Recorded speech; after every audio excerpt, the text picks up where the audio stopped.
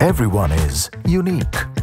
Some eat to live, some live to eat. If nothing but happiness matters, bring home Morphy Richards. Happiness engineered.